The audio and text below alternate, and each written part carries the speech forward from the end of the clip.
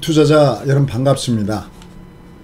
아, 참 모천원 만에 오늘 시장이 올라갔습니다. 라고 얘기할 수 있을 것 같습니다. 예, 오늘 어, 시장을 보시면은 아, 코스피 시장이 53포인트 2200을 복구해서 올라갔고요. 그 다음에 아, 코삭 시장도 24포인트 그 상승률을 보면 예, 코삭 상승률이 더 큽니다. 3% 강세를 보였습니다.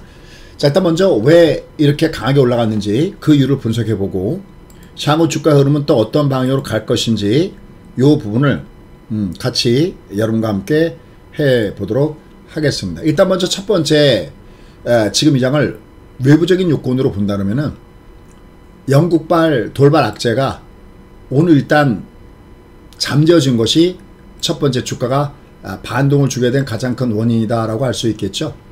왜냐면 이게 어, 미 국채 수익률을 건들고 그거 자체가 미국 증시도 유럽 증시도 그 다음에 오늘, 오늘 우리나라 증시도 위로 올라갔습니다. 결국 뉴욕 증시가 미국의 감세한 철회 속에서 미 국채 금리 아, 요게 하락하면서 아, 급등을 보여주는 모습을 보여줬죠. 아, 요게 일단 먼저 아, 가장 크다라고 얘기할 수 있겠습니다. 자, 근데 오늘 이거 말고도요. 중요한 얘기들이 많이 있으니까 한번 제가 예를 펼쳐놓고 그 다음에 주가에다가 어떻게 반영시키는지 보도록 하겠습니다. 자, 일단 먼저 첫 번째요. 지금 요 장의 움직임을 보면은 현재 시장의 위치가 굉장히 중요한 위치에 와 있습니다. 자, 보시죠. 일단 오늘 얘가 위로 올라갔는데 첫 번째는 바로 이 앞달이죠. 이 앞달, 요 종가, 요 앞에는 2332였고요. 그 다음에 여기는 2155입니다. 여러분들 이 2155를 잘 기억하셔야 됩니다. 어, 요 주가 2155. 자, 일단 여러 차례 여러분께 공개 강의를 통해서 여러분들이 이 장을 대응하는 방법에는 두 가지가 있다라는 말씀을 드렸어요. 첫 번째 한 가지는 시장의 흐름이 하락 추세에서 상승 추세로 바뀔 때 공략하는 방법. 우리가 이것을 무슨 매매법이라고 하죠? 이렇게 빨간 열차가 아, 요 레일 위로 이렇게 올라갔을 때 아, 요걸 보고 공략하는 이 매매 방법을 모멘텀 투자다라고 합니다. 자, 선배님들 옆에다가 타이핑 좀 부탁하고요. 후배분들은 아, 이게 모멘텀 투자라고 하는 거구나. 자, 그럼 모멘텀 투자의 장점과 단점을 볼게요. 모멘텀 투자는 우리가 조금 전문적인 용어로 트렌드, 추세를 따라가는 아, 트렌드 팔로잉 법이다 라고 얘기하고요. 여러분들 이번 장에서 한 가지 배우셔야 될 게 뭐냐면 아 진짜 추세가 중요하구나 라는 걸 느끼셨을 것 같습니다. 어떠세요? 음. 음. 아 진짜 추세가 이렇게 중요한 거였어? 라는 겁니다. 특히 여러분들이 무시하는 게 뭐냐면 시장의 추세 즉 종합주가지수의 추세입니다. 근데 이게 너무 멀리 있어서 그래요.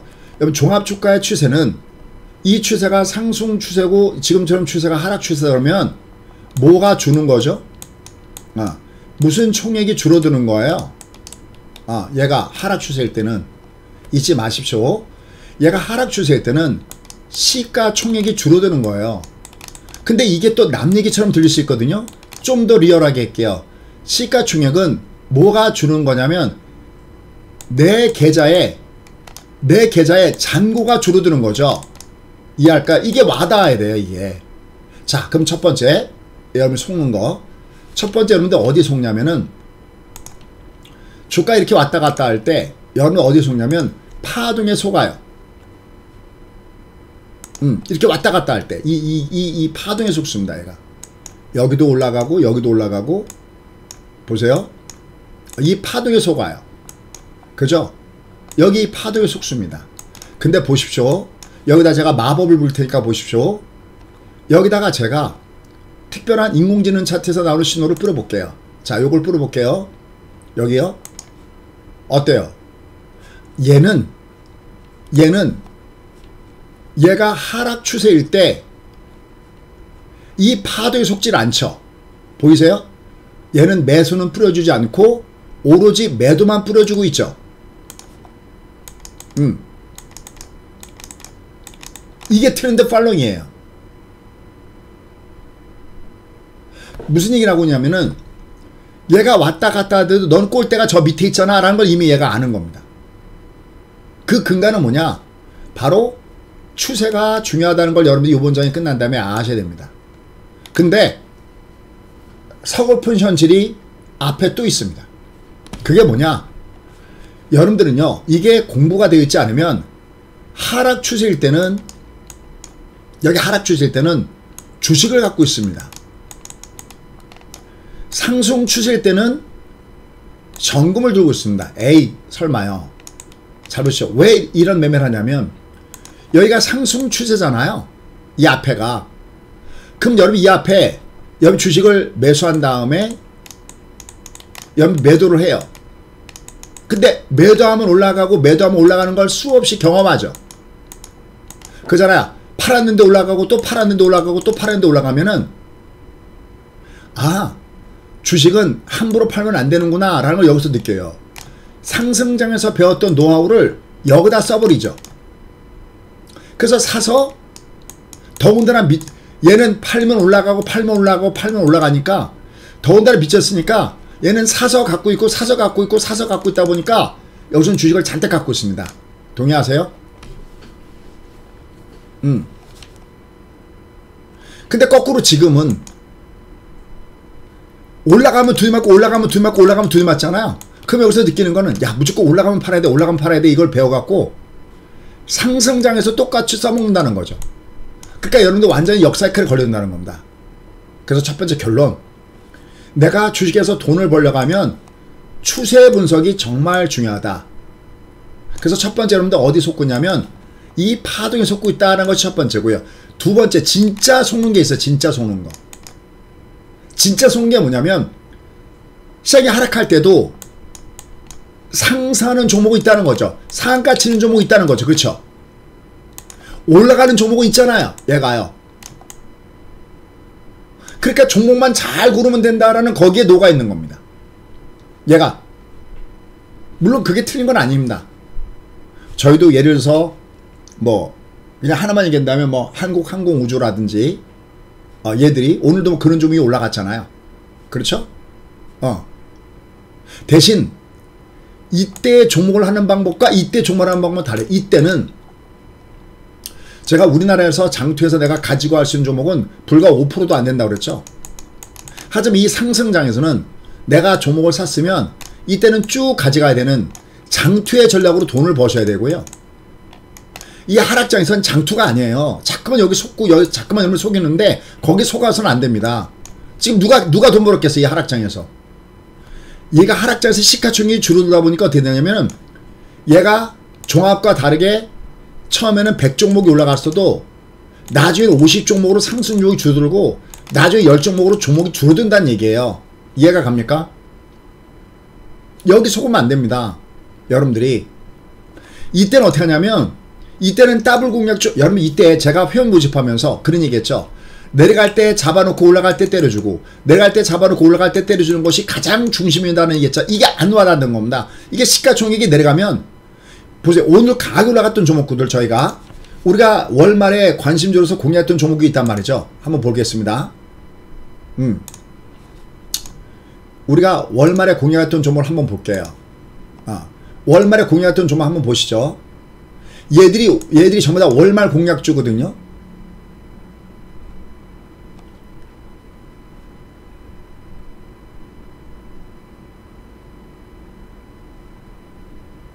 야 이거 월말 공약주 어딨냐? 음. 자, 잘 보십시오.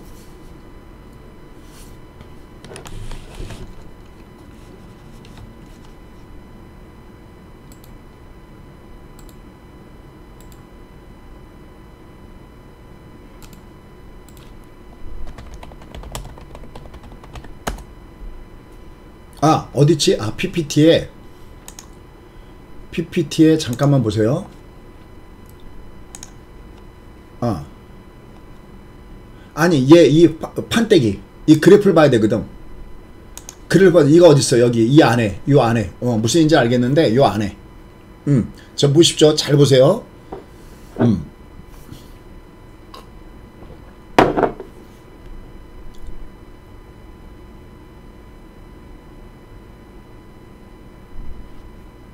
아니 오늘 월요일인가 여기 있겠구나. 화요일인가 여기 있겠구나. 자 여기 있네. 자 볼게요. 자 보십시오. 이게 우리가 우리가 금요일날에 관심주가 여기 있었거든요 이래서. 이게 음, 음 관심주였죠.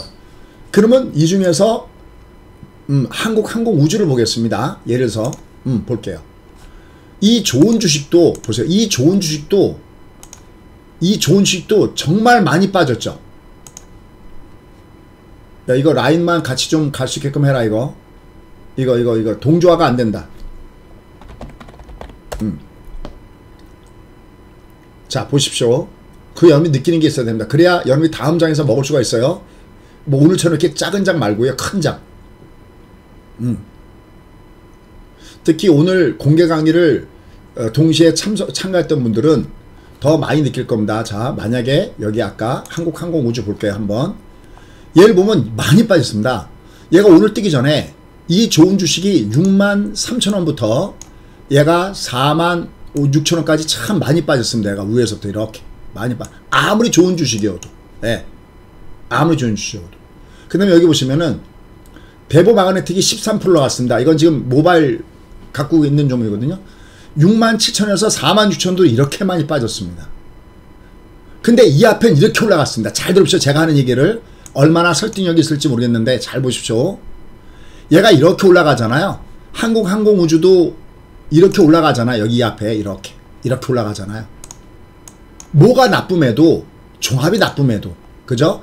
종합이 나쁨에도 올라가잖아. 그런데 자, 지금부터 제 얘기를 진짜 잘 들어야 됩니다. 그래야 다음 장에서 이걸 안 나갑니다. 근데 얘가 시가총액이 주돌면 얘가 룰렛 게임이에요. 야 누가 지금 주가 하락할래?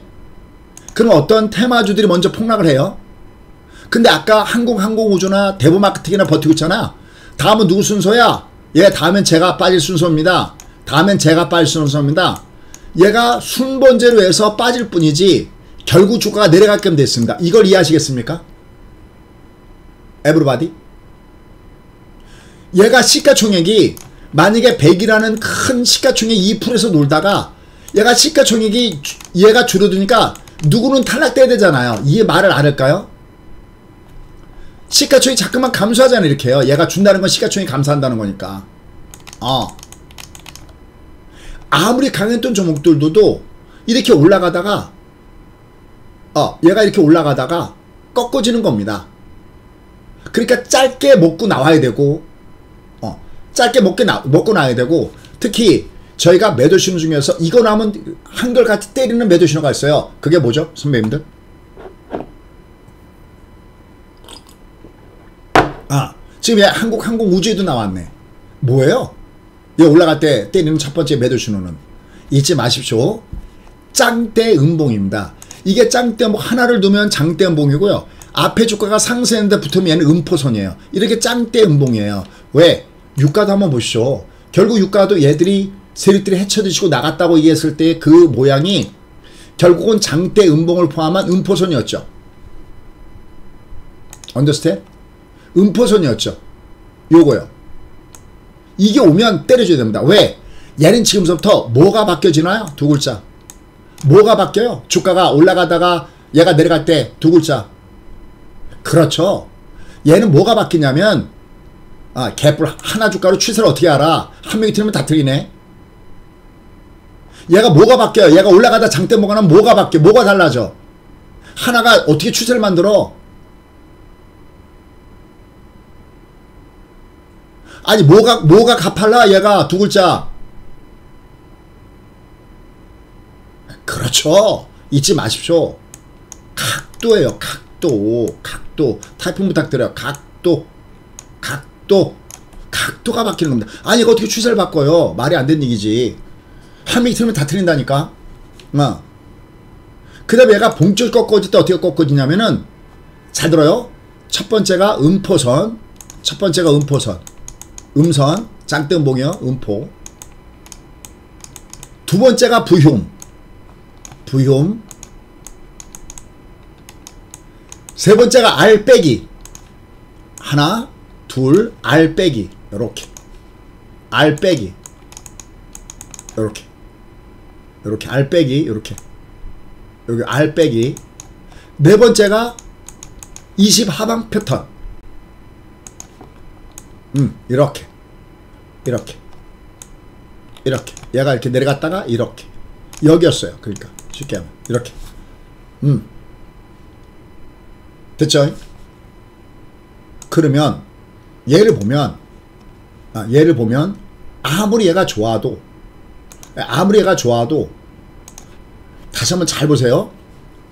왜 얘가 이렇게 뒤에 가서 많이들 빠졌냐면 종합이 빠질 때도 안 빠졌다가 결국은 느껴보십시오. 느껴보세요 자기가 시가총액이 여기가 100이었다면 얘가 시가총액이 90으로 줄고 그때 A급, B급, C급, D급, E급 있을 때 얘가 100에서 10으로, 90으로 빠질 때 먼저 2급에 있는 종목이 폭락하겠죠. 그 다음에 90에서 80으로 줄을 때 얘는 D급에 있는 종목이 폭락하겠죠. 순서래도. 그 시가총액이 80에서 70으로 줄 때 C급 종목이 폭락하겠죠. 이해했어요?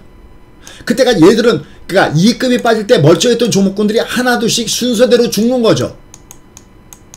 주가 움직이는 원리가 70에서 60으로 빠질 때 B급 종목이 빠져버리고 60에서 50 언더로 내려갔을 때 A급 종목들도 빠진다는 거예요. 설득력 있어요? 이걸 뭐라고 그러냐? 이걸 손수건 이론이다라고 얘기를 해요. 어미닭 이론. 탁상 위에, 책상 위에 손수건을 놨어요. 이렇게. 손수건을 놨어요. 여기 한 끝을 잡아서 손수건을 들어보세요. 얘가 동시에 융탄 나르는 나르는 무슨 융탄저처럼 얘가 동시에 닿더나 아니죠. 얘가 가장 먼저 올라오고 맨 끝에는 할 수 없이 올라오죠 이렇게. 집값이 올라갈 때도 강남 요지가 먼저 올라가고 외곽이 뛰죠. 그 다음에 얘가 빠질 때 지금도 보면은 저쪽 똑같 아까 장준 방송했지만 강남의 반도나 저 저 반포나 이런 데는 안 빠졌잖아요 별로 호가도 압구정, 반포 이런데 근데 어디가 빠져요? 똑같은 강남이어도 저쪽 잠실 그 다음에 저 어딥니까? 헬리오시티 어디에요? 가락 이런 데가 먼저 빠지죠 그죠? 이게 먼저 얘가 내 노는 순간 얘가 먼저 빠지는 겁니다 얘가 이렇게 먼저 빠지는 겁니다 얘가 외곽이 여러분 제가 예전에 부동산 얘기할 때도 기억나실지 모르겠다 2019년도에 부동산 얘기할 때 오래되신 회원님들 제가 마용 얘가 마용 2019년도에 마용수에다 점친다고 할 때도 회원님들 절대 서울에서 물러나가서 밀려서 외곽에 집 사면 나중에 집값 빠질 때 큰일 당한다고 했어요. 기억나요 회원님들? 기억 안 나? 내가 집을 사도 차라리 서울 근교에 있는 얘가 다 쓰러져 가더라도 얘를 빌라가 부시고 난 다음에 아파트 아파트를 세울 수 있는 이런 데다가 사야지 얘를 외곽으로 물러 물러나서 산다? 이건 큰일 난다고 그랬어요.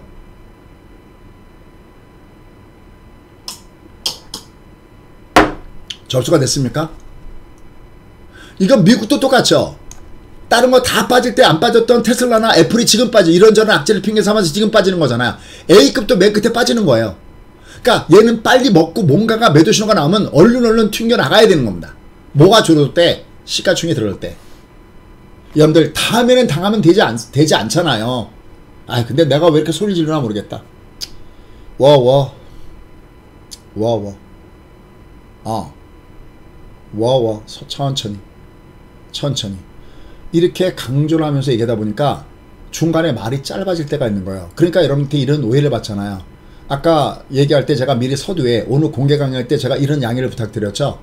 여러분 제가 강의를 하다 보면 저도 모르게 몰입이 돼서 막 강조하다 보면 말이 짧아지고 또 어떤 분들은 들어오시면서 수제 왜 반말로 강의하십니까? 라는 오해를 살까봐 그럼 제가 중간에 말이 짧아지도록 이건 제가 반말하는 게 아니라 옆에 더블 크롭에서 매수입니다. 매수, 매수밖에 없어. 매수, 매도밖에 없어. 이걸 하다 보니 저도 모르게 그런 습성이 배어져 있으니 양해 부탁합니다 라고 분명히 오늘 공개 강의 때도 미리 사진을 부탁드렸었죠.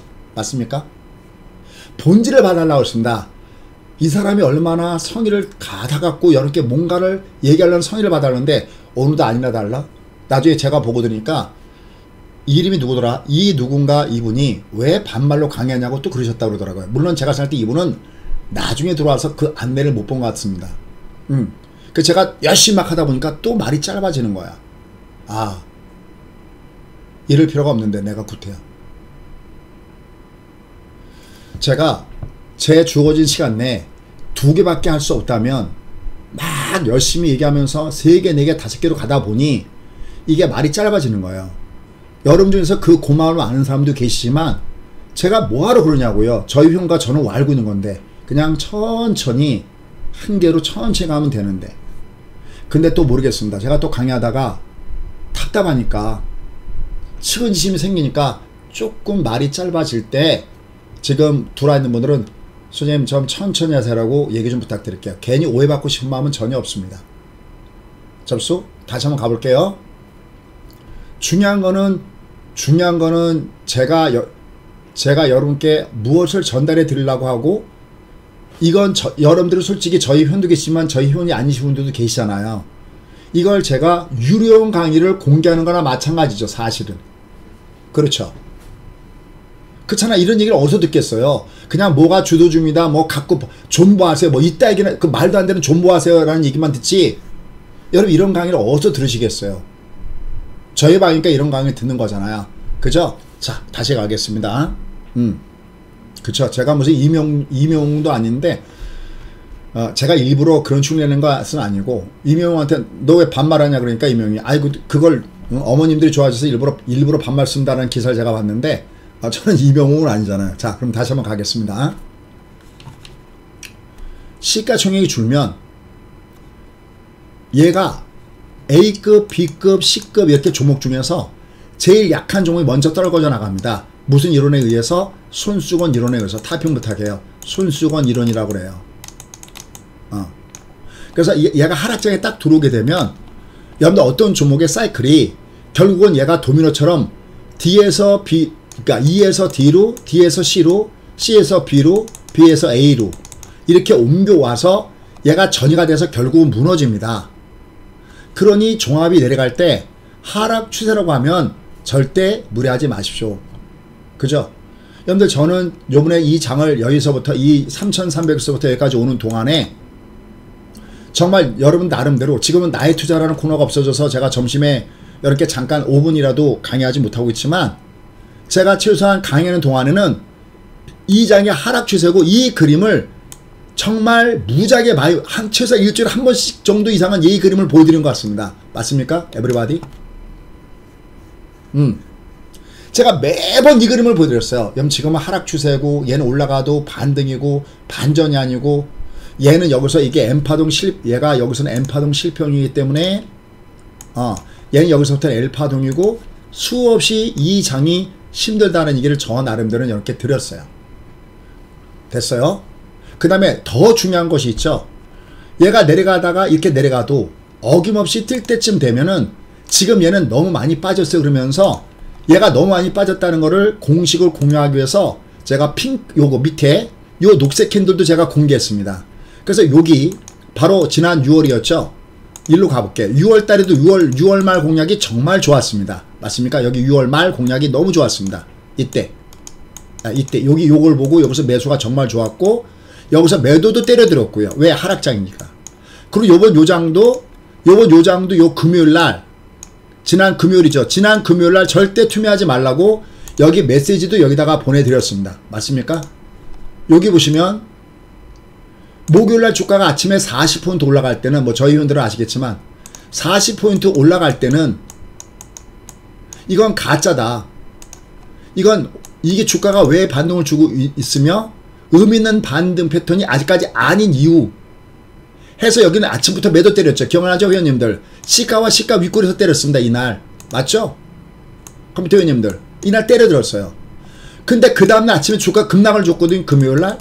금요일날은 절대 여기 어제는 상승에 매도 때렸지만 오늘은 투매를 자제하라고 자매, 자제하는 것뿐만이 아니라 그냥 이런 얘기를 할 수 있잖아요. 여러분들 투매 자제하세요. 이런 얘기를 하는데 왜 투매를 자제해야 되는지 그 노하우를 여기다 공개했습니다. 맞습니까? 음.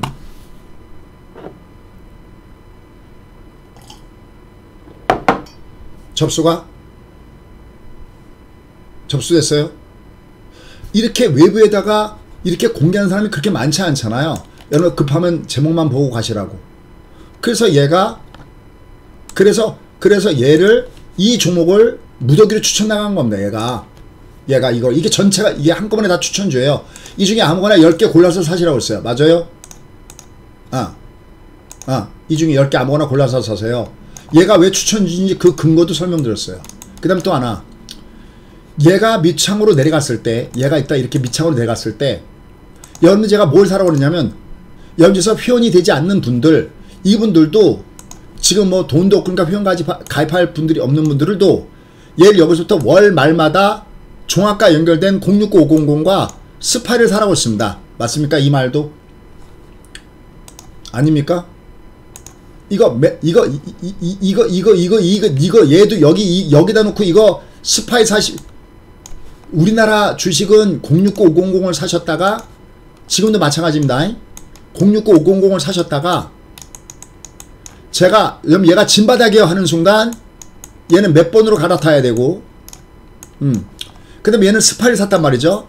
얘는 스파이를 샀어. 그럼 좋았죠 벌써. 그죠? 기분 최고 아닙니까? 스파이를 사셨다가 얘가 제가 진바닥입니다 그러면 얘는 아, 아 얘는 아 뭐로 바깥타요? 아, 아 얘는 SPXL로 바깥타야 됩니다. 아 됐어요?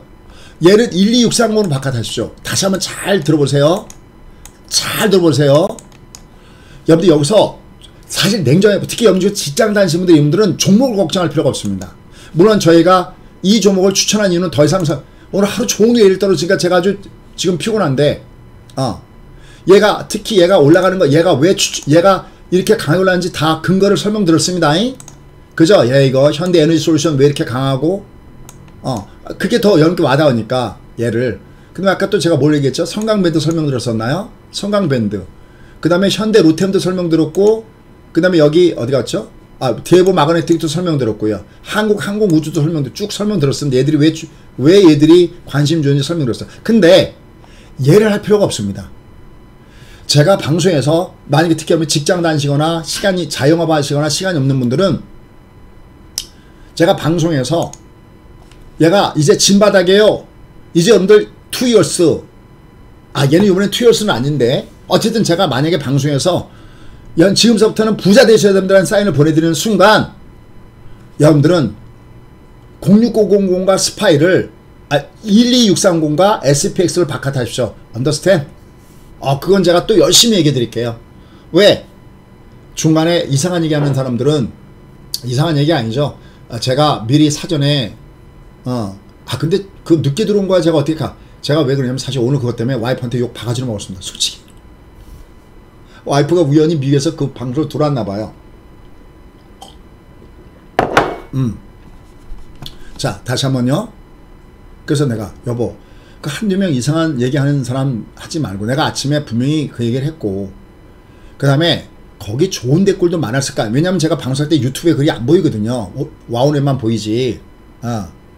여러분들 제가 다시 또 미리 부탁드릴게요. 제가 혹시 방송하다가 저 정말 그런 사람 아닌데 혹시 방송하다가 만약에 그렇게 되더라도 이해 부탁드릴게요. 제가 이렇게 천천히 얘기하면은 말이 짧아질 필요가 없어요. 근데 이렇게 막강 건너 불궁하듯이 얘기하고 싶은 마음이 없거든요. 막 저도 강에다 보면 강에 몰입돼 갖고 막 여러분들 막 깨우 깨우쳐 드리고 싶고 막 그런 마음이 있거든요. 어, 이해하시죠? 어. 음, 자, 그럼 맞아 들어갈게요. 음, 그래서 제가 지금 가다가 속도를 자꾸 조금씩 자꾸만 조정하는 겁니다. 자 그럼 얘는 일단 오늘 이 상승이 의미가 있느냐 없느냐 요 부분부터 살펴봐야 되는데 하나 얘기하겠습니다. 잘 보세요. 이 장이 진짜 의미가 있기 위해서는 이게 바뀌어야 됩니다. 이걸 아셔야 됩니다. 요게 바뀌어야 된다. 이게. 요게요. 얘들이 지금 3.4에서 4.4로 올라갔잖아요. 내년에 4.6이면 5.0이라는 거잖아요. 경기 사이클은 1.7에서 1.1이 내려왔잖아요. 잘 들으세요. 정말 중요한 얘기입니다. 여러분들 제가 오늘 이런 얘기 했어요. 여러분 우리가 저희 세대는 저희요 저희 세대 저희 세대는 어렸을 때 학교 다닐 때 초등학교 국민학교 그러니까 우리는 국민학교라고 하죠. 초등학교 국민학교 다닐 때 예, 빨갱이가 싫어요. 공산당이 싫어요. 뭐 이승복 어린인가요? 맨날 우리가 그걸 하면서 했던 멸공 반공만 하면서 자랐던 세대들입니다. 그렇죠? 아, 니 요새 젊은 친구들은 모르겠지만 저희 세대들은 저희 세대들은 그렇습니다.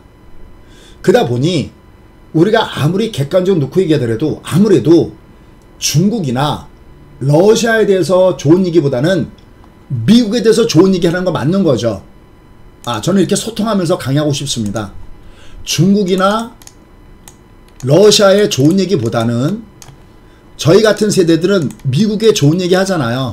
어차피 1950년대에 사실 6.25 터질 때 와서 도운 것, 도와준 것도 미국이고 사실 미국의 좋은 얘기 하잖아요. 그런데 요즘처럼 제가 미국 얘기하면서 갑자기 화가 나고 막 그럴 때가 없다고 얘기하잖아요. 제가 주식쟁이 입장이니까. 근데 여러분들 놀라운 것이 있습니다. 놀라운 것이 뭐냐면 전 이 뉴스를 나중에 봤는데 미국이 이렇게 다른 나라들은 다 죽어 자빠지더라도 지들만 살겠다고 이렇게 금리를 금리를 이렇게 빠른 속도 올리는 역에 대해서 혹시 여러분 보셨어요? 유, 유엔이 나무랬다는 얘기 들으셨어요? 못 들으셨어요? 아 기사 못 보셨어요?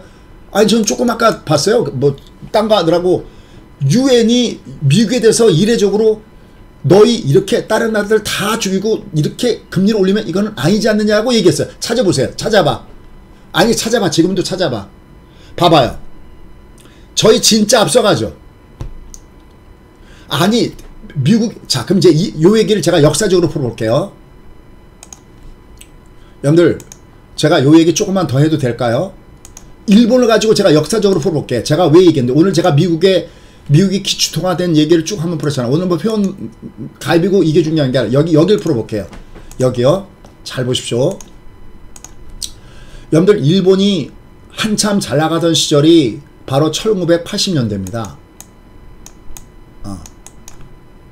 근데 1900 얘들이 너무나 잘 나가다 보니 어, 너무나 잘 나가고 미국은 쌍둥이 적자를 보다 보니 1985년도에 G5 나라들이 모여서 야 일본 너희들은 돈을 너무나 많이 벌어간다. 음 이거 너희 환율 좀 조정해야 되겠구나. 그래서 환율이 불과 1년 만에 환율이 그러니까 쉽게 해서 1달러당 어, 1달러당 250엔 했다고 가, 계산해 줄게 250이라고 250엔 했다면 1년 만에 1달러당 125엔으로 어 125엔으로 엔고가 나타난 겁니다. 에브리바디. 음. 미국이 쌍둥이 적자가 나타나면서 여기 나타난 겁니다. 아, 아. 아, 예, 보셨죠? 파라디존. 유엔 총장이 그런 얘기 했다고 그러죠?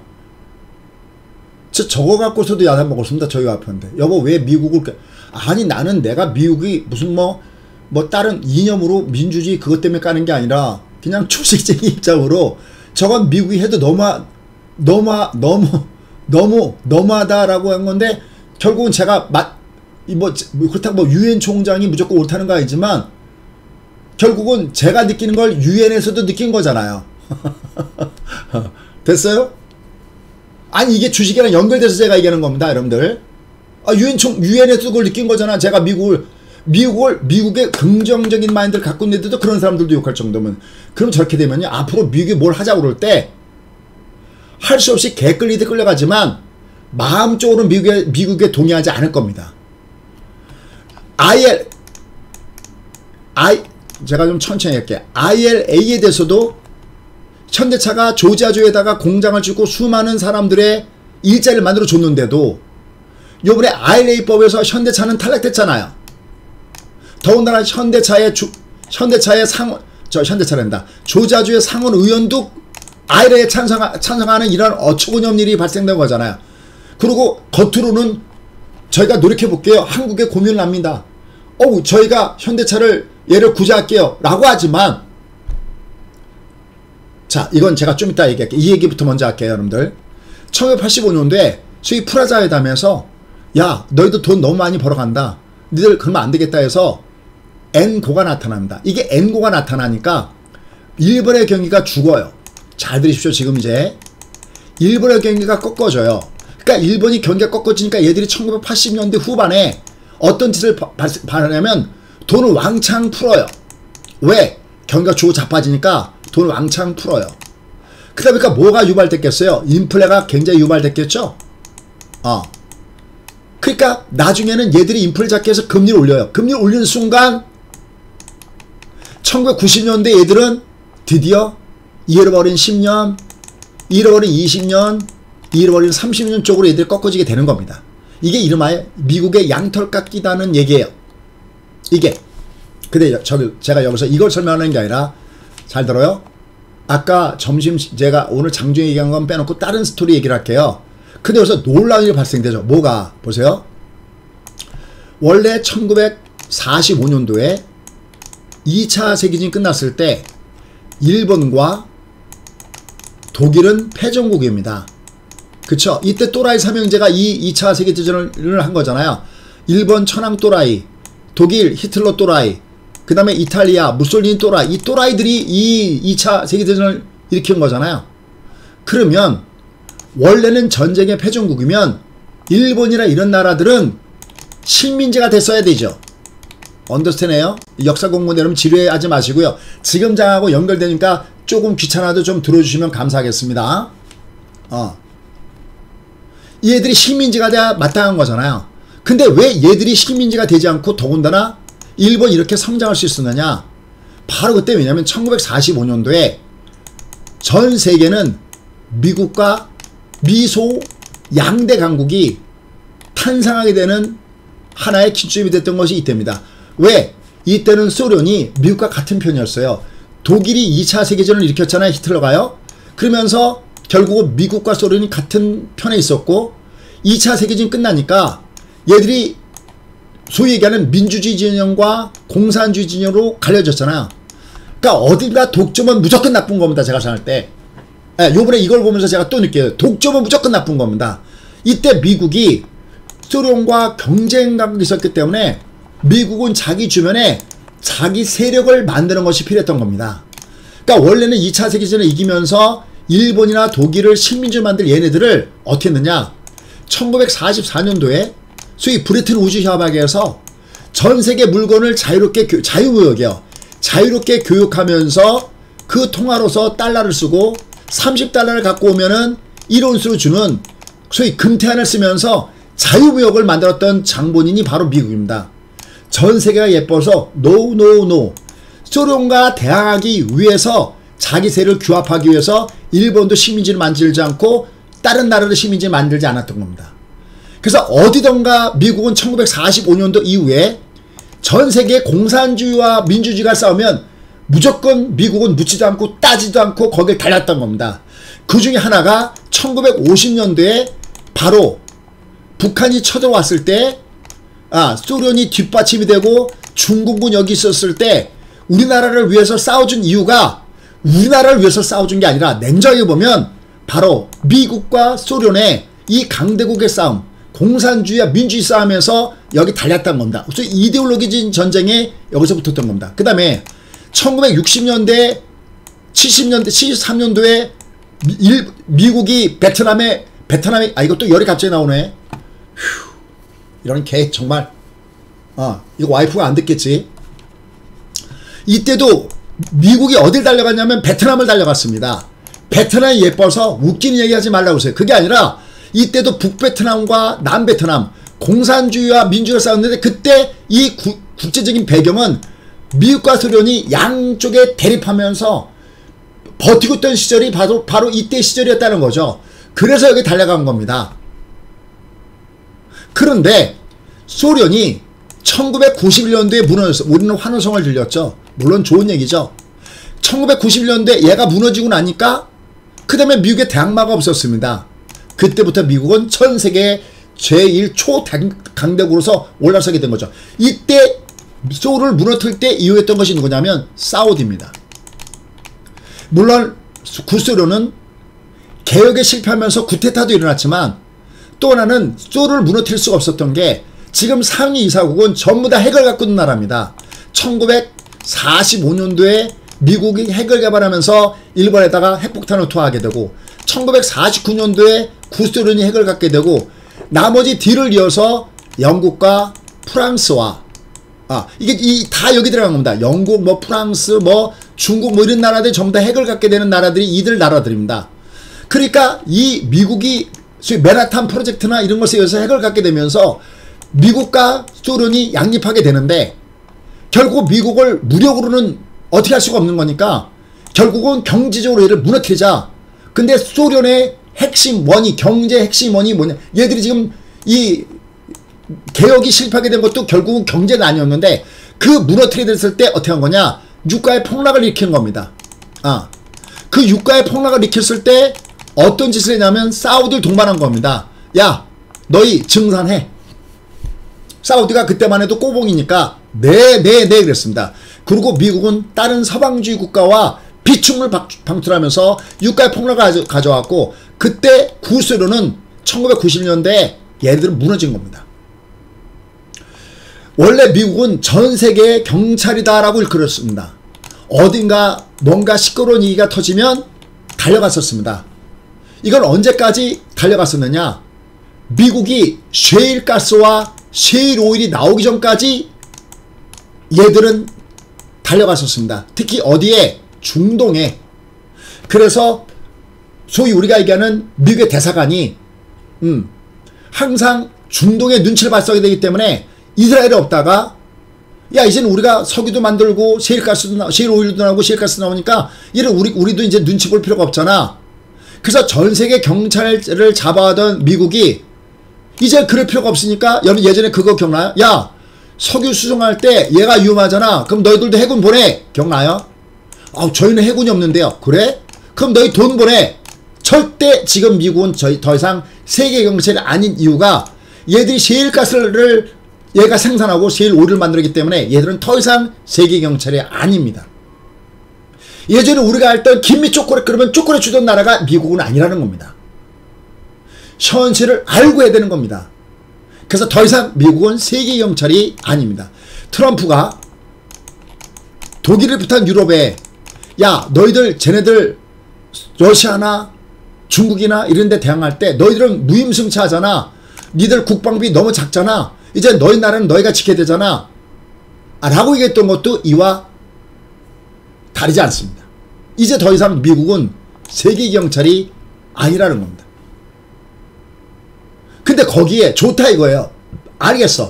자, 다시. 이거 지루하나요? 그만할까? 주두주나 얘기하고. 어, 이거, 근데 이걸 알아야 얘가 빅픽처 흐름을 아는 겁니다. 얘들이 미국이 무슨 전략을 쓰는지를 아는 겁니다. 제가 맨날 그죠. 깔 때 까더라도 알고 까야 된다는 겁니다.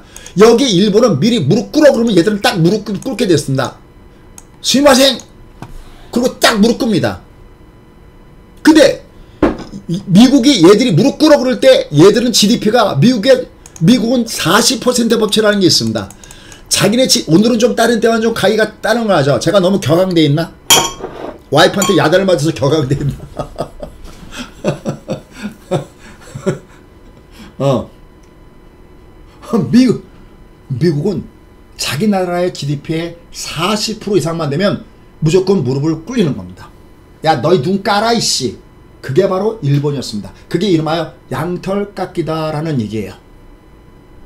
근데 중국은 늦었습니다. 중국의 양털 깎기가 언제 들어갔어야 되냐면 2008년도에 양털 깎기가 들어갔어야 되는 겁니다. 근데 2008년도에 뭐가 터졌느냐? 바로 리먼 사태가 터졌던 겁니다. 그러니까 미국도 제코가 석자니까 어, 미국도 제코가 석자니까 너희 무릎 무릎 꿇어 이걸 못했던 겁니다. 이때 그니까 중국은 좀 운이 좋았던 거죠. 예를 들어서 무릎을 꿇지 않고 크다 보니 이제는 무릎 눈 까래 그러면 같이 째려보는 정도가 된 겁니다. 2008년도입니다. 이 이전만 하더라도 중국은 등소평주의 소위 도강 양회 정신이 있었습니다. 도강 양회 광 빛을 피해서 양회 심을 기른다는 겁니다. 그리고 절대 중국의 전략은 어떤 장애물이 있으면 여기를 돌아가는 전략이 중국이었습니다. 그림을 그린다면. 근데 드, 드, 누구야? 저기 시진핑 들어서 그때 아마 제 기억에 그 프랑스에선가 연설할 때인데 이때 전 세계가 깜짝 놀랐습니다. 뭐라 하냐면 시진핑이 이렇게 얘기했습니다. 이제 더 이상 중국은 잠자는 사자의, 사자가 아니다 라고 얘기한 겁니다. 완전히 등소평을 깨부시고 소위 분발 유희 어. 이제 까불면 주어로 나타난 겁니다. 이 시진핑이. 그러니까 미국 입장을 볼 때는 얘들을 무릎 꿇릴 때 꿀려대는데 꿀릴 수 없던 그 과정에서 중국의 커도 너무 큰 겁니다. 머리가 너무 넘버 투가 너무나 큰 겁니다. 그거를 트럼프 이전의 대통령도 이미 중국에 대해서 견제 들어갔지만 그게 우리 눈에 가시화됐던 것이 바로 트럼프입니다. 트럼프는 무역 전쟁을 통해서 얘를 무릎 꿇렸지만 조 바이든은 전방위로 압박하고 있습니다. 어디를? 중국을. 이렇게 두 나라가 한, 한 하늘 아래 두 개의 땅은 존재할 수 없다는 이런 이념으로 싸우다 보니 반도체 치퍼 그 다음에 전기차 뭐 인플레이션 감축법 뭐 공급망 거기다가 바이오 기타 등등 이제 미국은 바뀌었습니다. 미국은 어떻게 했냐면 1944년도에 브레튼 우주협약을 통해서 달러를 기축통화로 하고 전 세계가 자유무로 돌았다면 중국가 너무 컸어. 그럼 여길 죽여야 돼. 죽여야 되는데 미국이 타결받은 때가 언제냐? 바로 2020년대에 미국은 타결받았습니다. 어떻게? 세상에 코랄9가 터졌는데 코랄9를 검사할 면봉조차도 없었던 나라가 바로 미국입니다. 왜? 전부 다 외국에서 들여와 쓴 겁니다. 거기다가 최근에 나타났던 현상을 보니까 야 이거 이러다가는 이건 빛 좋은 개설가 됐구나 해서 미국이 지금 어떤 정책을 쓰고 있냐면 잘 보시오. 미국은 기축통화국입니다. 달러를 전 세계에다가 수출하는 겁니다. 그러면 기축 중국은 절대 기축통화국이 될 수 없는 이유는 기축통화는 두 가지의 서로 이율 배반적인 성격을 갖고 있어야 된다. 첫째는 이게 통화로서 이 통화로서 이게 사용이 되려면 이 통화는 전 세계 골고루 펴져 있어야 됩니다. 달러가 전 세계 나가 있기 위한 방법은 딱 하나밖에 없습니다.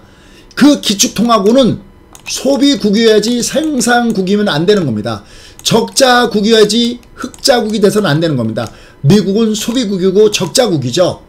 그러니까 이 전 세계 이 달러가 전 세계 나가 있는 겁니다. 두 번째, 전 세계 퍼졌다 보니까 하나 단점이 있습니다. 돈 가치가 형편없이 떨어지면 그 누구도 달러를 받으려고 하지 않을 겁니다. 요건 약간 음모론에 가까운 건데 그래서 한 번씩은 세계 위기가 오면서 달러 가격을 올려놓을 필요가 있습니다. 그렇게 돈이 많이 푸는데도 가격이 올라간다. 이걸 소위 트래핀의 딜레마다로 얘기하는 겁니다. 이게 근데 공존하면서 사라는 것이 바로 달러라는 얘기입니다. 그래서 달러는 원래는 1944년도에는 금에 묶여 있었습니다. 달러 이꼬르 금이었습니다. 어. 근데 1971년도에 그러니까 1960년대에 미국이 월남전에 참전하면서 똑같아요. 파운드화가 소위 국제 통화였다가 파운드 가치가 몰락하게 된 가장 큰 배경은 1차 세계대전과 2차 세계를 하면서 전비 때문에 이 파운드가 급락하면서 얘들이 제1강국으로서 무너졌듯이 얘들이 1960년대 월남전을 참전하게 되면서 1971년도에 닉슨 쇼크가 발생하는 겁니다. 야 달러 가져갈 테니까 니들 금내나 라고 프랑스의 도골 대통령이 얘기했을 때 갖고 와 그러던 미국이 전 세계가 달러 주면서 금내나 그러니까 이때 닉슨 쇼크 닉슨 대통령이 우리는 대체 줄 수 없어 라고 한 겁니다. 그때 오전에 되겠지만 이거를 뚫었던 것이 천재 외교관 바로 헨리 키신저가 여기 금에다 묶어놨던 이 돈을 이 달러를 요번에는 5일 여기다 묶어놓은 겁니다. 이게 소위 페트로 달러의 기원인 겁니다. 그러니까 이제는 그 누구도 이 페트로 달러 지금 사우디가 결제를 중국의 미국의 달러가 아니라 위안하겠다. 글쎄요. 글쎄요. 이거 잘 봐야 됩니다. 이거 아주 위험한 발상입니다. 만약에 기름을 결제할 때 어딘가 위안화가 통용이 되고 어딘가 루브라가 통용이 되고 어딘가 미국의 달러가 아닌 그 따라, 나라 통화가 통용됐을 때 미국의 달러는 그냥 휴지 조각일 뿐이고 미국은 망하게 되기 때문에 가장 미국이 양보할 수 없는 레드라인은 페트로 달러가 무너지는 겁니다. 그래서 가다피가 갔고 후센이 갔고 다들 가고 있는 겁니다. 근데 여기에 빈 살만이 딱하니 등장하고 있는 겁니다. 이게 엄청난 사건입니다. 접수가 됐습니까?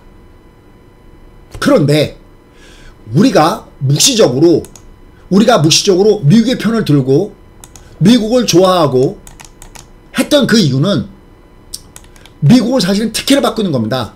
종이 쪼가리에다가 잉크로 100달러, 10달러 그러면 10달러짜리가 되고 동그라미 하나 붙이면 100달러가 되는 여기를 인정했던 것은 미국은 300패권을 들고 있기 때문에 그렇습니다. 첫 번째, 미국은 2위부터 10위까지의 구, 모든 군사비를 합한 것보다 미국 군사비는 굉장히 큽니다. 그래서 미국은 전 세계 군사 패권을 들고 있고요.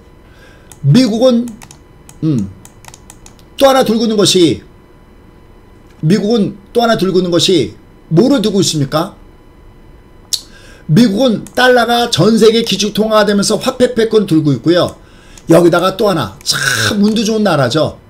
여기에 실 오일과 셰일가스가 나타나면서 에너지 패권까지 들고 있습니다. 전 세계에 전 세계 문을 닫아놓고 너희끼리 살아 그럴 때 살아남을 수 있는 몇 안 되는 국가가 뭐냐?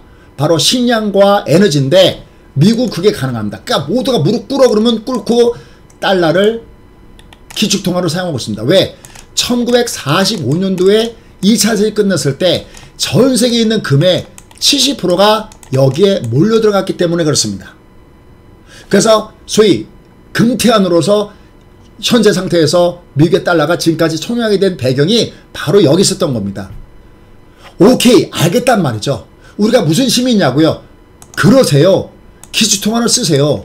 단 형님 대신 물건을 만들 수 있는 다른 나라들 다른 나라들도 숨은 좀 쉬게 해야 될 거 아니겠습니까? 당신들이 종이에다가 잉크, 잉크를 발라서 100달러를 쳐 발라 드시는 건 좋은데 공장까지 여기 들어오라고요? 우리 일자리도 여기 다 들어오고 그러면 당신은 돈을 그러면 당신은 기축통화를 내놔야죠. 여기다가 공장을 세우고 오케이 알겠습니다. 리쇼링 외국에 나가는 미국 회사들을 다시 들어오고요. 알겠습니다. 원래 당신이 회사였으니 가져가시라고요. 그런데 뭐라고요? 여기다가 공장을 져서 여기 있는 사람들이 물건을 만들지 않으면 혜택을 주지 않는다고요? 그럼 그러면 우리는 여기다가 반도체도 공장을 짓고 자동차도 공장을 짓고 그 혜택을 못, 못 받고 우리가 개뿔 호구입니까? 그 열통이 터지는 그 얘기를 제가 오늘 했는데 제가 아까 뒤져보니까 유엔에서 그 얘기했다는 얘기를 듣고 아 그럼 내가 냉정하게 얘기한 거지. 제가 열나서 얘를 깐 건 아니었네요. 됐습니까? 제 와이프가 깨면 제가 유엔 그걸 보러 여보 봐. 내가 미국을 까고 싶어서 깐 게 아니라 봐. 유엔도 까잖아. 어 그러나 덤비지 않는 게 낫습니다. 여러분 절대 와이프한테 덤비지 마십시오. 그냥 와이프가 법입니다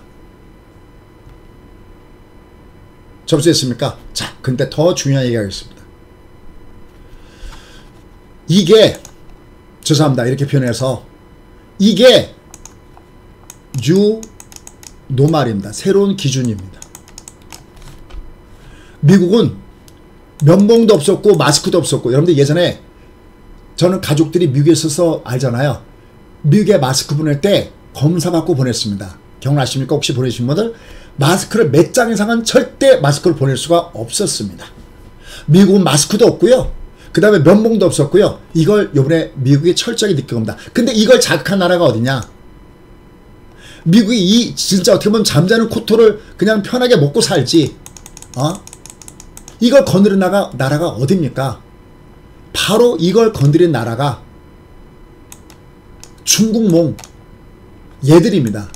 정말 꼴보기 싫습니다. 솔직히. 여러분들 괜찮습니까? 김치도 지냈고 태권도도 지냈고 다 지냈고 그런데 이게 유노말입니다. 강대국들은 그게 중국이든 러시아가 우크라이나를 공략했던 미국이 이짓거리 하던 이게 그냥 유노말이고 이게 법칙입니다. 억울하면 출세라고 억울하면 나라 힘을 키워야 됩니다. 그 나라의 힘을 키우는 일선에 등장한 회사들이 있습니다. 그게 뭔데요? 그게 바로 K방산입니다. 요새 K방산 여러분이 그 무엇을 상상하던 그 상상 이상으로 우리가 글로벌화되고 있습니다.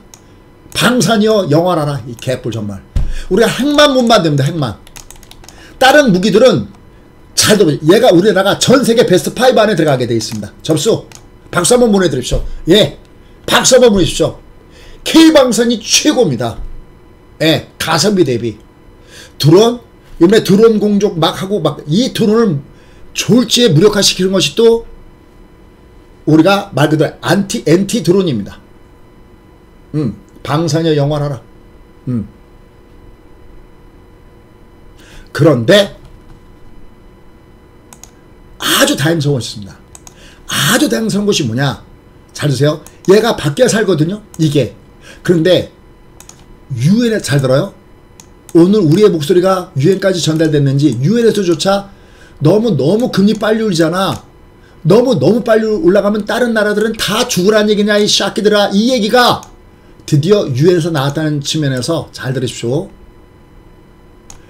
미국이 특히 조 바이든이 예전에 트럼프는 1대1 맞짱을 뜨는 전략이었잖아 중국하고 근데 조 바이든 전 세계 협조를 구하고 있잖아요. 협조는 구해놓고 뒤에 가서 뒤통수 때린다 그럴 때 아마 다른 나라들이 힘이 약해서 지금은 앞에서 내내 그러지만 미국이 그렇게 협조를 또 미국의 말빨이 그렇게 통하는 거는 점점 점점 작아질 거라고 확신합니다. 여러분 어떻게 생각하세요? 아니 자기네 나라에다가 그렇게 쓰면 어떤 혜택을 줘야 되는데 됐습니까? 어 얘들이 어 얘들이 그래서 다가오는 12월을 우리는 매우 주목을 해서 봐야 됩니다. 얘가 바뀔 가능성을 내포하고 있습니다.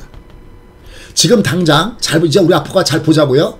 그러면 얘들은 지금 당장 10월 달에는 이게 없지만 11월 달 FOMC에서 어, FOMC에서 얘들은 75bp가 얘가 힘을 잃을 가능성도 있습니다. 접수했어요. 지금 현재 우리가 예를 보면요. 이미 유가는 꺾였죠. 다시 채권 올라가더라도 얘는 이미 꼭지는 꺾, 꼭지는 이미 친 상태거든요. 잘 들어보시죠. 이제 주식시장에 대한 얘기를 해볼게요. 아, 재밌었나요, 그런데? 여러분, 재밌었어요? 어. 나중에 기회가 될 때, 제가 이 국제정치 정세 단위 갈게요. 이건 요새 할, 할 시간이 없어서 예전에, 예전에 사실 많이 했어요. 오래된 우리 의원들은 이미 한 번씩은 들었던 거죠. 새롭죠. 근데 요즘 미국이 하는 짓거리가 너무나 심하기 때문에, 아니, 다른 나라도 숨은 쉬어야죠. 아니, 무슨 깨평은 던져줘야 그래야 숨을 쉬는데 너무 숨가쁘게 패드가 잘못은 지들이 해놓고 제롬 파일에서 잘못은 지들이 해놓고 전 세계가 쫓아올 틈도 안 주고 우린 더군다나 가계부채가 너무나 높잖아요. 어? 여러분들 이해가 지금 막 부동산에 뭐고 다 작살나잖아요. 지금 작살나기 시작하고 그 부동산도. 어. 너무 숨 쉴 틈조차 주지 않고 몰아붙이는 것에 대해서 월가에서 저항의 목소리가 나오기 시작했고요. 하나 중요한 거예요. 오늘 어떤 연은 총재가 거기 대해서 반기를 드는 얘기를 했다고요? 오늘 아침에 강의 들으신 분들 어디죠? 이름 길어서 외우기 힘든 분들 어디 연은 총재라고 했죠 제가? 아 샌프 타이핑 부탁해요. 샌프란시스코 연은 총재 샌프 타이핑 부탁해요. 샌프 음. 메리 데일리 샌프란시스코 연방은행 총재가 싱가포르에 싱가포르에 뭐 어디서 주최한 심포지엄에서 최근에 연준이 금리를 올리고 있고 높은 인플레이션을 낮춘 일에는 이거는 뭐 굉장히 확고하다라는 얘기에서 단 여기서부터가 중요합니다. 그런데 문제는 경제를 어, 너무 가혹한 침체로 몰아붙이지 않기 위해서 가능한 조심스럽게 금리 변경을 진행할 것이다 라는 멘트가 나왔습니다. 아주 중요한 얘기입니다. 접수했어요. 샘프. 샘프 타이핑 부탁해요. 오? 그랬어? 근데 이미 이 앞에 제가 토요일날 국고초에서 제로미 시길이라는 교, 저 와튼 대학의 교수가 연주는 잘못은 지들이 저질러 놓고 너무나 많은 희생을 국민들한테 강요한다 그래갖고 국민 앞에 사과해야 된다 그런 얘기 했다고 그랬죠. 그럼 얘가 지금은 우리가 뚝이 물을 때도 조그만 균에서 무너지듯이 그럼 얘들은 보세요. 유가가 이렇게 내려가고 그 다음에 하나만 더요. 지금 얘가 이 CPI가 제 얘가 9.1을 고점을 찍고 얘가 지금 내려가기 시작하잖아. 8.5. 이 앞에 예상보다 높았지만 8.5인데 8.3인데 여기 CPI에 3대 세 가지 요소가 있습니다. 하나가 유가고요. 하나가 식료품 가격이고요. 마지막 하나가 뭐죠? 마지막 하나가 뭡니까? 마지막 하나가 뭐냐면 렌트비입니다. 렌트비. 이건 제가 잘 알잖아요. 제가 미국에 집이 있으니까 렌트비요. 렌트비요. 이게 안 빠지고 있었거든요. 근데 얘가 안 빠지는 이유가 왜 그러냐면 봐봐요. 집값은요. 집값은 시시각각으로 집을 내놓으면 사람들이 집을 보러 와서 내놓은 가격보다 더 높이 팔리거나 그러거든요. 얘가 핫할 때는 얘가 집값은 시시각각으로 올라간 거거든요. 얘가 그리고 집값이 꺾을 때도 얘는 지금 미국이 집값이 꺾이고 있거든요. 이에서 시시각각으로 꺾이고 있거든요. 근데 렌트비는 시시각각이 아니죠. 여러분 우리나라에 외국, 외국인들이 들어갈 때 렌트비 계약할 때 보면 1년 계약하잖아요. 우리 뭐 저, 저 전생과 월세 이거 2년 계약하듯이 얘들 계약하잖아요. 얘들이 이게 집값이 빠지고 있는 얘가 아직 반이 안 돼서 그렇지 얘도 이미 꺾어지고 있다라는 거예요. 그럼 어떻게 될까요? 자 미리 저는 이렇게 얘기합니다. 요번 주 금요일 날 고용은 나빠져도 별로 나빠지지 않고 고용은 오히려 좋아질 가능성도 있습니다. Why? 왜? 아니 외국에 나가 있는 미국에 있는 업체들을 너희들 여기서 다시 돌아와 그러고 세금 감면 혜택 주고 리쇼링 하고 있고 접수 있는 기업체들이 미국에 물건 팔아먹기 위해서 여기다가 공장을 짓고 있다면 미국의 일자리는 차고 넘쳐 흐르죠. 그럼 얘는 완전 고용이 4%인데 지금 3.7%인데 이 고용이 나빠질래 나빠질 수가 없겠죠. understand.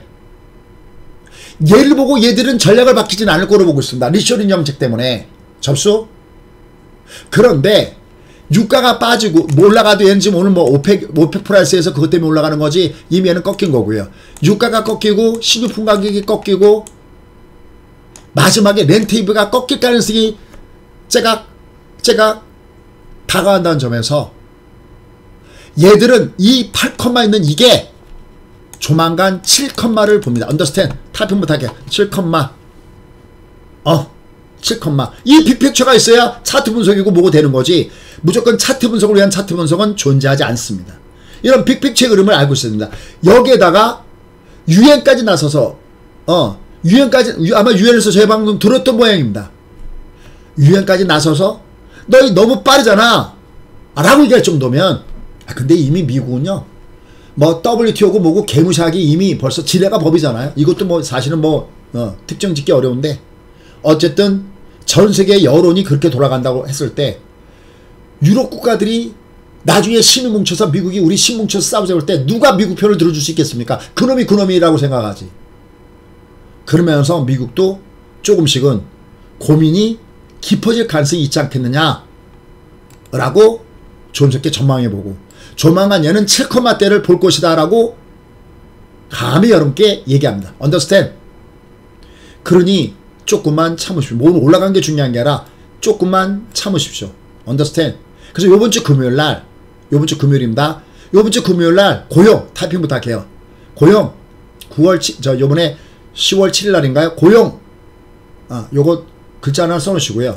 그 다음에 요번에 10월 13일 날 CPI 타이핑 부탁해요. 10월 13일 날 CPI 얘가 7%대로 내려갈 때 요번이 어디냐가 문제지 얘들이 결국 7%대로 내려간다고 얘들이 될, 됐을 때 얘들은 잘 봐. 제가 몇 번 얘기해. 너희 금리 왜 올리니?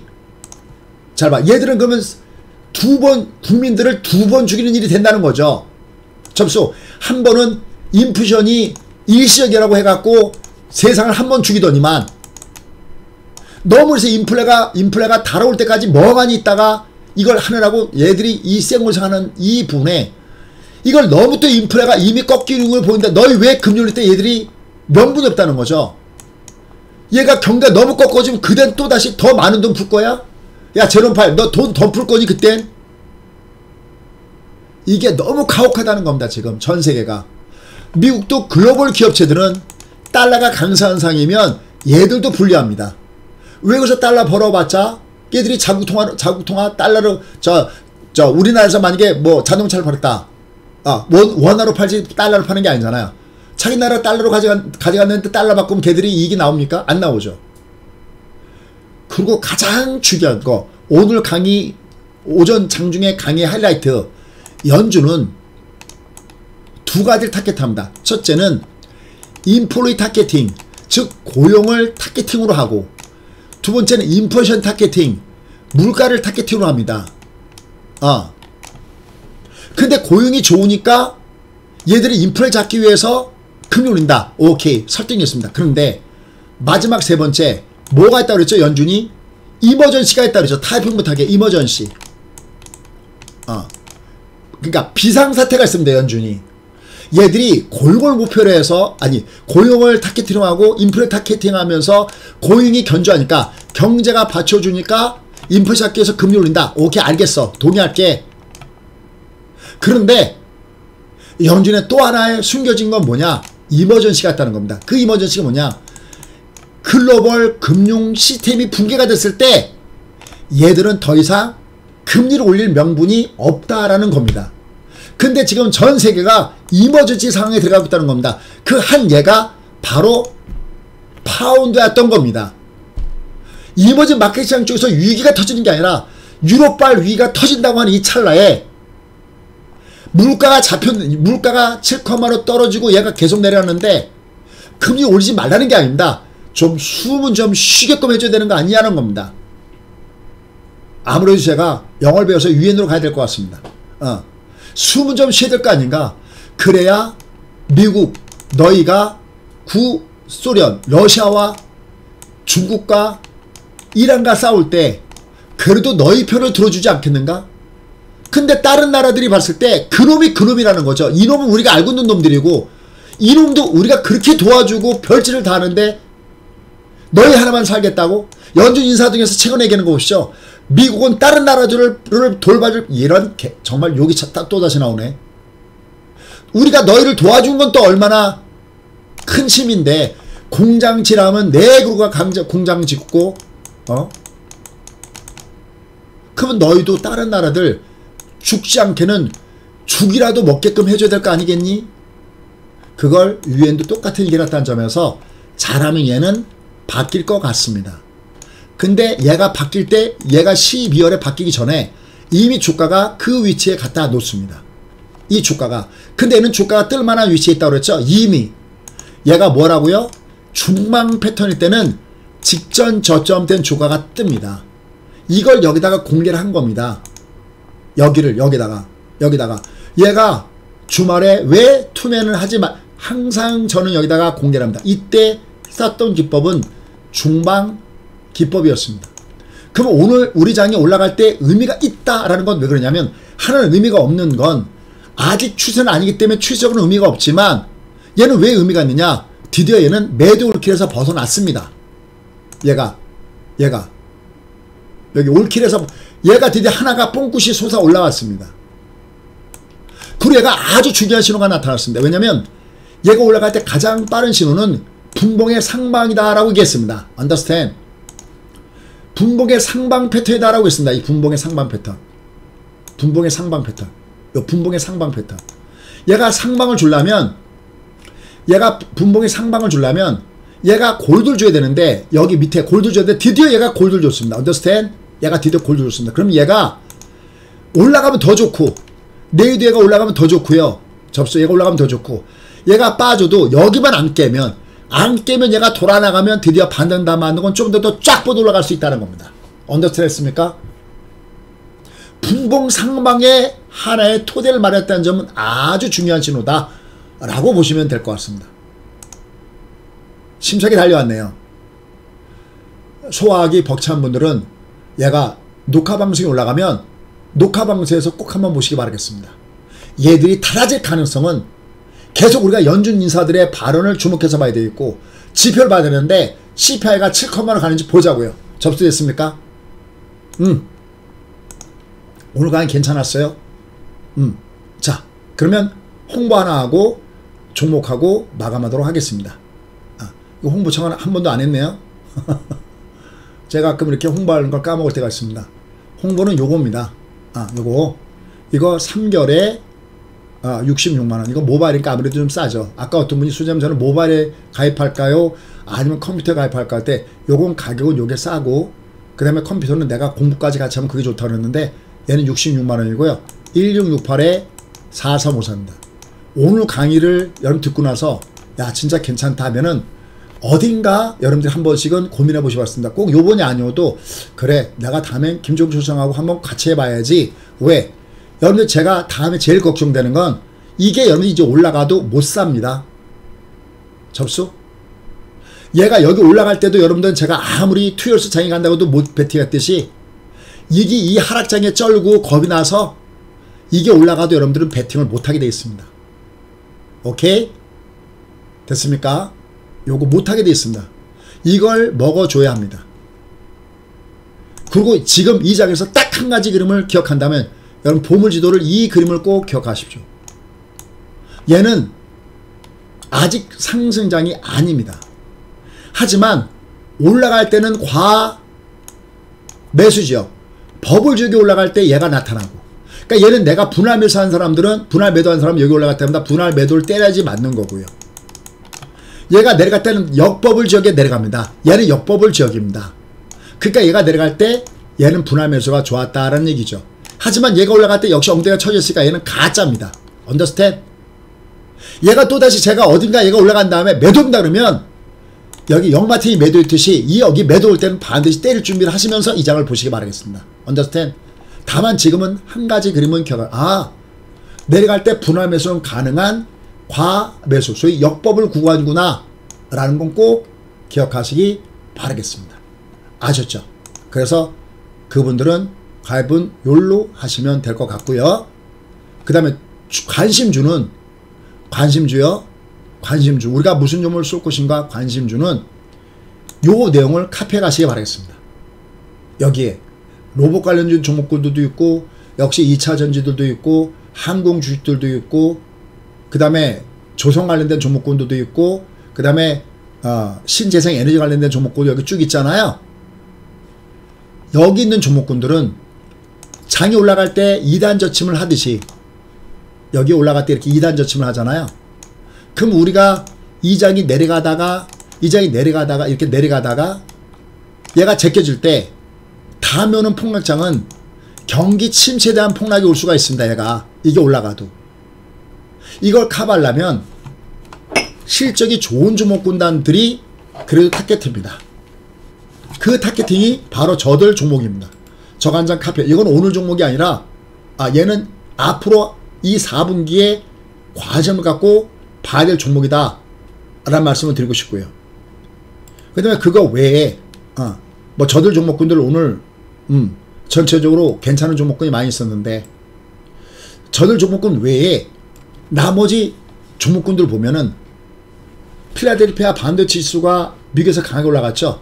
더구나 삼성전자가 2027년에 1.4나노 양산 얘기가 나왔죠. 그죠? 이와 연결되면서 오늘 반도체 대표적인 종목군단들이 올라갔습니다. 얘들이 또 반도체 장비 종목군들이 올라갔어요. 그죠? 하미 반도체, 유니셈, PSK.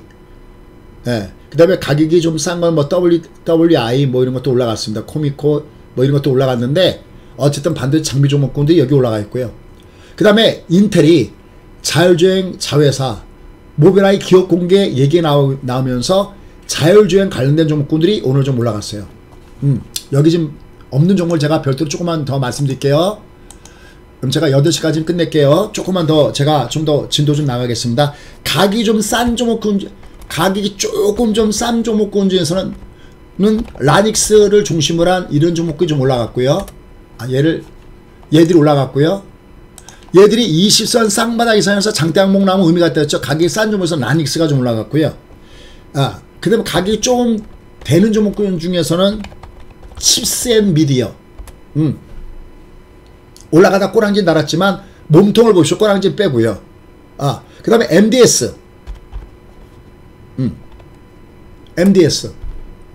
이렇게 얘는 아직 20선 위는 올라타지 못했지만 제법 강했죠. 특히 만원대 이상이라는 게 주목해 볼 만합니다. 그 다음에 퓨런티어. 저기 없는 종목을 제가 별도로 얘기하는 겁니다. 저인 건 기본입니다. 저 왼쪽에 있는 종목은 기본이에요. 프런티어. 다만 일선 위에 있는 종목을 먼저 보셔야 됩니다. 아, 다만 이제 여기 연결된 점 뭔가 해서 제가 쭉 설명드린 겁니다. 인포뱅크. 많은 특히 만 원짜리 이상에 얘는 얘는 아예 여기 밑창에 있잖아요. 그죠? 내가 이들 종목군 중에서 제가 말씀드리면서 의미 있는 건 뭐냐면 최소한 얘가 이선이 이렇게 쌍바닥에서 알바켓 캔들 이상을 보자. 접수됐죠? 제가 지금 종목을 소개하는 거고 이렇게 얘가 이거 이상해서 장땅봉 나오는 종목만 관심주로 보시면 됩니다. 접됐죠? 어쨌든 오늘 자율주행 연결돼서 그 다음에 우리가 이 앞에 공략에서 제법 수익이 크게 나왔던 종목 있었죠? 모트렉스 모트 얘는 좀 어느 정도 올라갔죠 사실은. 어. 하지만 이렇게 외부에서 끝나지 않습니다. 얘 내려가면 얘 이거는 먹기가 굉장히 편안한 주식입니다. 얘들이 어, 별개로 좀 더 올라가는 모습을 줬어요. 근데 오펙이 감산했죠? 아 그래서 뭐 정유도와 뭐다 올라갔는데 이거 말고 친환경 관련된 종목군들 이들 종목군들도 우리가 보셔야 되겠죠. 음. 그 다음에 이제 오늘 저 어디입니까? 환경부에서 24주 규모의 국가 수도 기본계획 발표하면서 뭐 여기에 연결된 수자원 관련된 종목이 올라갔습니다. 이것도 제가 약간 대표 종목 몇 개만 좀 찍고 넘어갈게요. 아 점심시간 방송일 때 얘가 설명하면 좋은데 그게 없어지는 바람에 코롱 생명 얘가 여기에 연결된 종목입니다. 그 다음에 유신 이거 자 전부 다 이거 저기 뭐 수자원 관련된 종목군입니다. 이거 수유신 예, 이것도 저 외복이죠. 저런 것도 내려갈 때 배팅 쏘시면 좋습니다. 차트 분석상으로도 괜찮은 위치에 있는 겁니다. 얘들 수자원 관련된 종목고요. 그 다음에 조선 기자재. 그죠? 대, 저 대우조선이 대규모 LNG 공급 계약 체결 얘기했죠. 이 조선도요. 여러분들 우리나라가 하나그룹이 어, 지금 대우조선을 품었는데 하나가 이게 이거 말고도요. 우리가 우리나라가 저 그러니까 육해공 모든 것이 다 나오는 우리나라에서 말 그대로 K의 로키드 마틴이 탄생되지 않나라는 기대감을 가져봅니다. 자 조선 얘는 이미 여기 왼쪽에 있죠 현대미포 제가 저 현대미포를 세팅했던 이유는 가장 항상 움직일 때 이렇게 외보인 종목은 절대 끝나지 않습니다. understand? 어 됐어요? 어뭐 다른 것도 쭉 있지만 항상 저는 제일 강한 놈 손수건 이런 올라갈 때도 강남이 먼저 올라가는 겁니다. 내려갈 땐 주변 변들이가 먼저 빠지는 거고요. 됐죠? 그 외에 이제 조선 기자재 쪽 본다면은 또 혹은 뭐 저 친환경 본다면 뭐 아까 강했던 상가 이멘트 건 왼쪽에 있죠. 그죠? 그 다음에 저기 하이로 코리아 왼쪽에 있죠. 접수했어요. 성강면도 왼쪽에 있죠. 저기 없는 것 중에서 저 뭐야 성인 화인텍, 하구카버 얘들이 없네요. 그죠? 그 다음에 태양광. 아 태양광에 아까 천, 대차 에너지 솔루션 여기 있죠? 얘가 태양광. 그죠? 얘 말고도 코미코, 아, 저 뭐야 아바코 뭐 이런 것들 여기에 다 연결된 겁니다. 유인 테스트 다 여기에 연결된 종목입니다. 예. 그 다음에 이제 자동차 관련된 대표 종목군들. 근데 뭐 얘들은 워낙 많이 빠져서 올라간 거이기도 하지만 아, 이들 종목군들이 예, 조금씩 좀 있다라고 보시면 되겠습니다. 그 다음에 저 뭡니까 수수차 관련된 거 뭐 이런 거 테마주니까요. 그리고 방사는 100번 강조해도 지나침이 없다라는 말씀을 이렇게 드리고 싶습니다. 아, 자 그래서 특히 제1 추천주는요. 이런 종목군 중에서 이게 외국인 종목은 절대 그냥 끝나지 않습니다. understand? 이게 외국인 종목. 이게 이게 이게 20이 외국인 종목이에요. 이거 이거 이게 이게 외국인 종목은요. 옵쇼 오는 겁니다. 알고 감사합니다. 배꼽 인사하면서 사야 될 돈은 다 이것들 다 외복. 얘가 다시 빠지면 외국인 종목이에요. 됐습니까? 어. 이게 외국인 종목은 다 이게 다 공통점이 이게 다 외국인 종목입니다. 특징이. 아 그렇게 간단한 비결이 예 그렇게 간단한 비결이요. 혼자는 외로워 둘입니다. 잊지 마십시오. 자 오늘 아, 하루 종일 방송과 저녁 방송까지 열심히 들으신 여러분들 정말 감사하고요. 얘들이 바뀌는 걸 보자고요. 다만 지금은 과매도 국면에 있다. 음, 그건 제가 무조건 뭐 올라간다고 하는 얘기가 아니라 이미 주말에 저희가 어, 이미 여기서 배팅을 쌓던 이유가 바로 거기 있고 얘는 올라가도 가짜지만 이렇게 내려가 또 올라가면 또 때릴게 위해서는 그리고 또 얘가 내려오면 잡아주는 겁니다. 그러면서 얘가 이게 나올 때까지 보는 겁니다. 얘는 추세는 한참 멀었어요. 아직은. 다만 얘는 과다 이격에 의한 붓기. 그리고 얘가 오늘 오바디 나타났던 건 아주 중요한 의미가 있고 얘가 분봉의 상방을 줄 가능성이 있다는 점에서는 앞으로 2, 3일이 매우 중요할 것 같습니다. 아셨죠? 나머지 부분들은 뭐 제가 회원님들은 회원 코너에서 만나뵐 거고요. 그게 아닌 분들은 바쁘실 때 여기 제목만이라도 와서 보고 가시죠. 이 안에 이 안에 다 포함되어 있습니다. 오늘 하루 종일 열심히 응대해 주신 여러분들 또 댓글 달으신 저희 회원님들 진심으로 감사드립니다. 마찬가지로 오늘 제가 혹시 방송하다가 조금 여러분들의 그 인상이 깊게 하기 위해서 조금 표현이 세게 나갔다든지 어, 이렇게 됐을 때 그거 여러분 이해 부탁드릴게요. 그냥 강의를 좀 더 재밌게 하고 좀 더 지루하지 않게 하려다 보니 가끔 제가 그럴 때가 있습니다. 그건 이해 부탁드려요. 본질을 본질만 여러분이 오해하지 않으셨으면 좋겠습니다. 아, 김성현 정말 열심히 하나라도 알려주려고 하는구나. 그거 하나는 절대 여러분들이 잊지 않으셨으면 감사하겠습니다. 자, 요거는 가입은 1668에 4354고요. 여러분들 많이 아직까지 물려있어서 가입하기가 좀 힘드실 수 있습니다. 그런 분들은 유튜브라도 구독해 놓으시고요. 꼭 보시면 좋겠습니다. 여러분들 제가 오늘 낮서부터 오늘은 다른 때랑은 다르게 국제 정세를 좀 많이 얘기했습니다.